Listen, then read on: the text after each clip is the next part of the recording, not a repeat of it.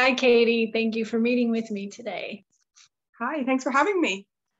Good. Um, so I just want to start off this conversation by having you introduce yourself, talk a little bit about yourself. Yeah, my name is Katie. I am a former AHC student. I'm out of Ireland. Um, I am a retail manager, a yoga teacher. I wear several hats, as I think we all do a little bit. But yeah, now I am an Ayurvedic health counselor. Yes, and you did also work for Joyful Belly in um, during your course as the student support uh, person, right? Yeah, I'm part of the student support team. So I was using my experience as a student myself, as we all do on the team, to troubleshoot, to help students, and in a bizarre, beautiful circle, it also helped me. Like I was nearly tr- like tutoring myself and supporting myself, particularly around like time management and those things that can come up when you're when you're doing an online course, when you're working, when you have life going on. Yeah, great. Well, we appreciate all of your help um, and also studying and working really hard in the course at the same time and actually, you know, being like one of the top students in the class. So, um, congratulations on graduating at the top of the class. Thank you. Yeah, I mean, yeah. it was my first um, foray back into true academic learning in about a decade. So there was definitely some cobwebs. I joined the course a little bit late. So there was, you know, there was some interesting things that came up, but yeah. I just loved it. I loved every minute of it. Yeah, good. I'm glad to hear that. Um, how did you get started in Ayurveda? So I came to Ayurveda through yoga, as I think a lot of people in the West do. Um, I was lucky enough to be able to study yoga in India, and we got to visit a an Ayurvedic university, and we met the students. We got to talk with some of the teachers.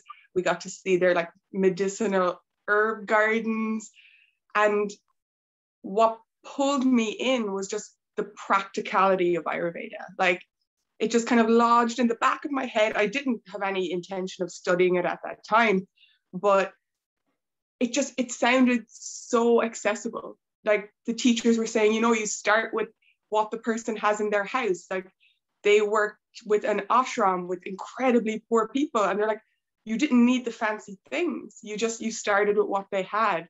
And to me, that was just amazing because unfortunately, not everywhere in the world has such easy and accessible access to to healthcare. So that right. was it for me. It kind of it was like a little nugget in the back of my head, and I did my yoga training. And when it was time for more education, I I knew it was going to be Ayurveda. Yeah, yeah, great. That I mean, that's an amazing story. That's an amazing kind of way to be introduced to it, and um, and you know, I agree with you. It's the practicality of it, the kind of common sense um, feeling of learning it and you're just like oh like i probably already knew that. Why have i not been doing this? You know that kind of thing. And and like you said the thing about like starting where someone is like someone can learn from where they are no matter what their station in life. Um, there's always something that you can do to live a more Ayurvedic lifestyle, even if you don't have the money or don't have the resources. So, um, yeah, that's awesome. That's great. Yeah. Um, so, then what was your kind of vision for signing up for the program? What did you expect, or what did you expect to kind of do with your certification or the knowledge?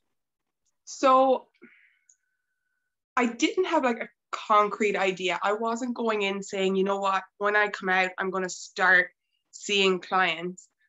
A lot of it for me was just furthering my education. Um, and because it is a relative science of yoga, it was it was feeding into that. But I can say for sure that what I thought I was going to get out of the course and what I actually got out of the course were just two different animals. Um, I had no idea of the the rigorous nature of the incredible depth we were going to go to um, and just how inspiring the whole course was going to be to be honest. Um, whether it was teachers or other students it opened my eyes for sure. And it just paved a route that will work alongside my yoga practice but is not going to be like interwoven with it. It's going to be its own standalone thing. Um, yeah. so when i when i first went into the course i thought this would be like a nice little online course a little bit more knowledge you know? Um, but i got so much more out of it. And i'm so grateful for it now looking back that i that i took the plunge. Yeah yeah i agree like there's there's a certain element of like oh yeah i'm excited to study ayurveda and then you get to a certain point in your in your course and you're just like whoa. All right. But i mean it is it's a, it's an amazing wealth of knowledge and you know challenging at times but worth it. Um, to to kind of learn everything that we learn in this course. And uh, and the the practice the clinical practice and um, all of that the opportunity that you have to connect with other students but also with uh, with your your future clients you know while you're still in the course um, and build your build your clinic or build your business or all of that good stuff. Absolutely. And for me like i i wasn't like the shining star student in in school you know i i was never like super engaged but there was just something that just pulled me into this course. And absolutely like you said like the, it's so hands-on it's so practical. Every week you're doing something where you need to assess your own body or assess your assess your own experience. And you're constantly learning um, it really is incredible and it's a testament to what to what you can do in two years if you if you want to do it yeah yeah well and you know you certainly were like a shining star student in this course. So it's interesting to me to hear that that has not been your experience in the past. But um, but yeah, I mean, you did a great job in the course, and also with like like you said, wearing so many hats. Yeah, it's. I mean, working um, it's interesting because it is such a rigorous course. Like, and I, I never want to downplay that. Like, it is not it's not a breeze of a course for sure because ayurveda is a medical science and that's that's what you're learning and i think to give a student an idea that it's anything else will be almost unfair because it's you're getting like the starting point of this whole world of information um, right. for me the big thing that i had to employ in myself especially having been out of formal education for some time was it was discipline. It wasn't so much the work, it was the discipline to be like, okay, this is what we're doing and this is when we're doing it. Um. And that was, it was amazing. And especially to be able to look back and go, you know what? I did it and we did it. Every other person in the course has jobs, has kids, has other things going on. But it's a beautiful thing to be able to look back and say, you know, you can do hard things. Yeah. And not to mention this year, has been pretty special because you guys like did it through a pandemic also. so kudos to your whole class on that um, and sticking with it. Um, and so you spoke about the about the the discipline. Would you say that's you know one of the greatest challenges that you had to overcome during the course? I think so. I think for me, I mean, some of the material is for sure challenging. I mean, you're learning different terminology and you're learning different concepts, and really you're learning to look at the body and it just through a different lens. You know, you're getting a different perspective. But the real challenge was the the mental game. It was showing up every week, getting the assignments done, working around work, working like in with work. Um, and I think it's just a muscle I hadn't flexed in some time. You know, I had gotten quite accustomed to going to work and coming home and having that time free. Um, but it was the active fulfilling of a commitment that was a brilliant lesson for me. I'm really thankful for it. Um, and I think looking back, if you had told me you're going to spend up on 800 hours over the next two years, aside from work, in a pandemic doing this stuff, I would have laughed at you and said, there's no way that, but here we are and we got it done. Yeah. Yay. Congratulations again. um, so you've you've actually shared quite a bit through this conversation about what it was like, you know, what life was like as a student in the program and working, you know, a couple different jobs and, you know, all of these different things. Um, is there anything else that you would like to add kind of about that you know thinking in terms of anything that you could give a per- prospective student as far as advice on um, making it work with your life? Just general. Yeah. i think for me especially because i'm kind of you know i'm on another continent there is the time difference and things like that. I think the number one thing that has helped me has been to show up to the live classes I can and engage with other students as much as I can.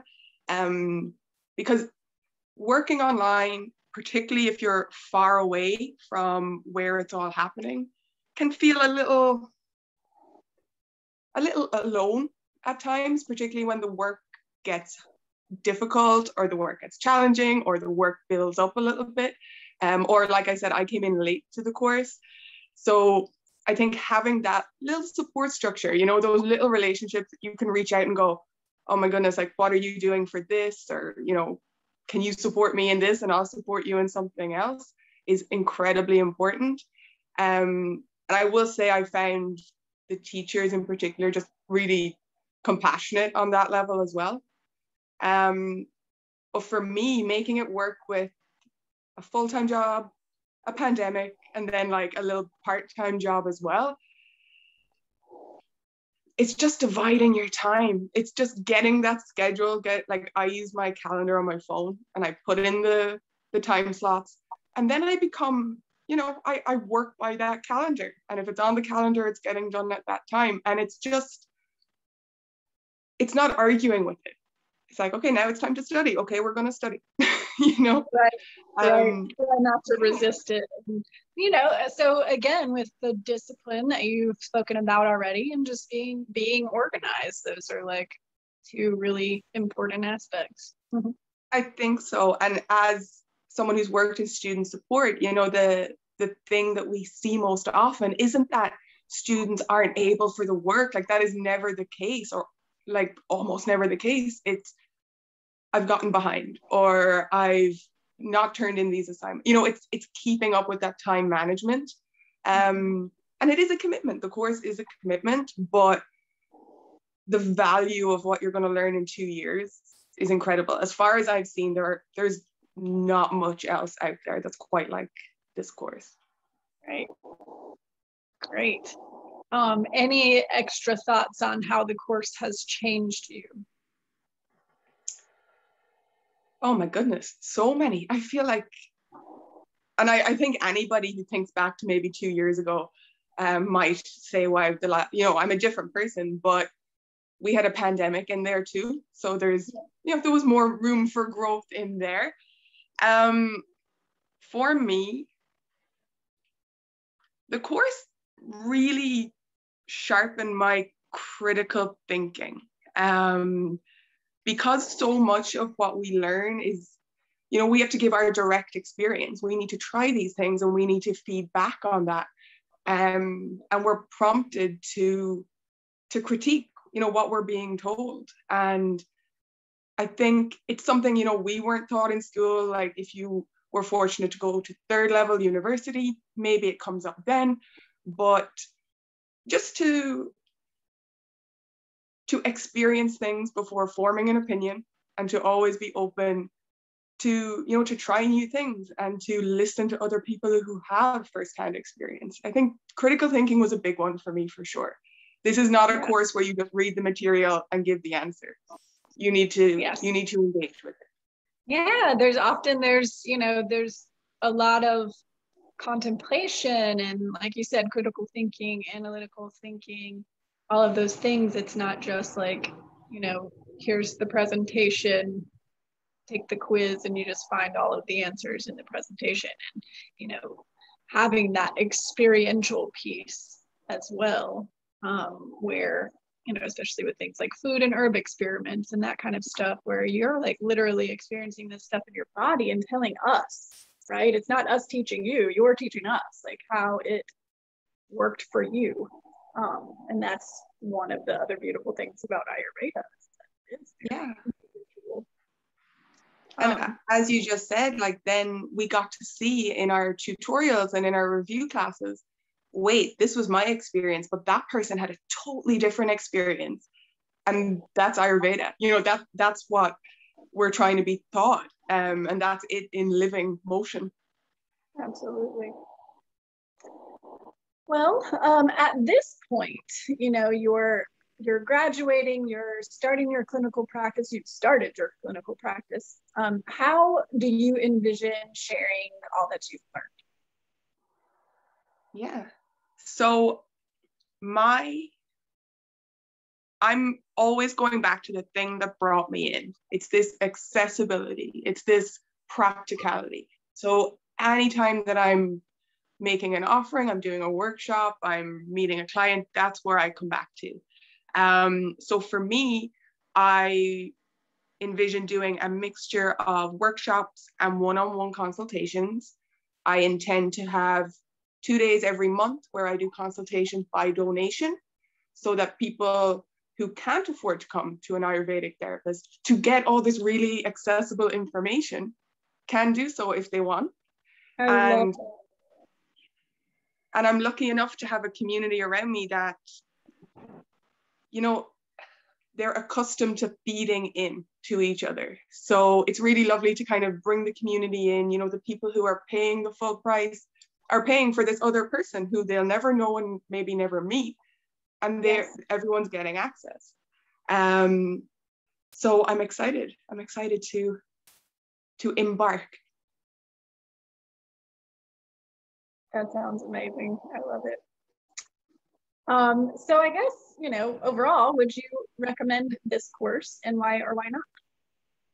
I would recommend this course. Absolutely. There, and as I said earlier, there I haven't seen anything like it. Um, as I look around for further education and things, there's nothing coming up that tops it.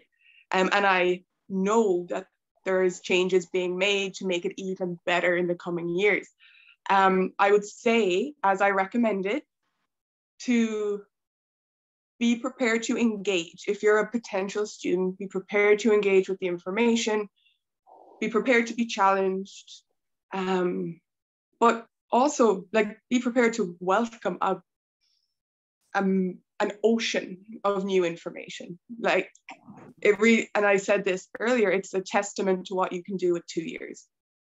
Yes. Great. Um, any parting words of wisdom that you would like to offer? For potential students or new students to the program who might be hearing this, um, live what you're learning, I think is probably the best way to actually learn it. Like, as you're learning about the doshas and all these things that you may have heard of and you may have a theoretical understanding of like take a day. Or one of our teachers always says you know when you're doing a herb experiment take the herb and then read about it while you can still taste it and feel it and understand what's going on. Because ayurveda isn't you know ayurveda is an embodied practice. You know it's you can feel it you can see it happening so yeah. that would be my best advice Great, that is great advice. Um, and last question for you, what would you say was the greatest benefit of the program in your experience? The greatest benefit of the program was the practical element of it. Um, we spent the first year heads down, learning the concepts and learning the theory and and getting to to grips with all of that. But in the second year, like we got to embark on all these consultations with our student or with fellow students before we even went and did 25 consults with people in our community. And that's before we even graduate. You know, this is practical assignments. And it's only when you you start to tie everything together and you start to actually meet with people and hear their story that it all comes to life. And of course, at the beginning, you think, oh, I'm never going to be able to do this. This is terrifying. This is hard. And it is for the first couple of times, it's terrifying and it's hard. Yeah. But you get so much practice on it that by the time you come to the end, you're like, I can do that. Yeah, for sure. So you get this confidence before yeah. you even walk out the door. And it's just like having a conversation with someone, right? Um. So to add to that, you know, talking about how you got so much experience with the practical side of things in year two, um, we've made several kind of improvements to the course. And at this point, this coming year, uh, we start doing assessment and things like that on ourselves and with buddies in the first few weeks and build off of that. So, you know, when we learn about the gunas, we're going to start having little buddy pair up consultations where you spend 10 minutes assessing each guna in, you know, in your partner or whatever, or one at a time. Um, and then this past year, year one, did their um, first buddy consultations on certain systems of the body, like one srotas at a time um, in year one. So by the time they are going to get to their buddy consultations in year two, they've already got like all this experience assessing another human.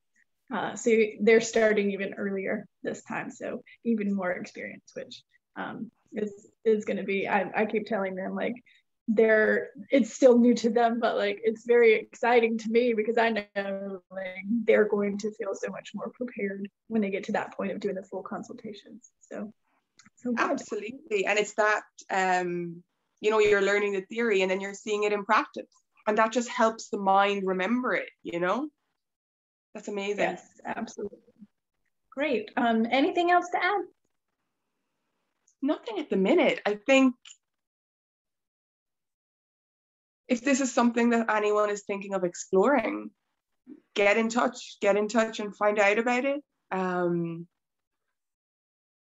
I think this is an incredibly in-depth course. I think you you gain so much from this course. It really like sets you up as someone who, you know, I didn't know almost anything about Ayurveda before I got into it. I had heard about it and I had, you know, done my own research, but this sets you up. You can take a confident step forward in whatever direction you want to go after mm-hmm. you do this course. And I think that's pretty incredible.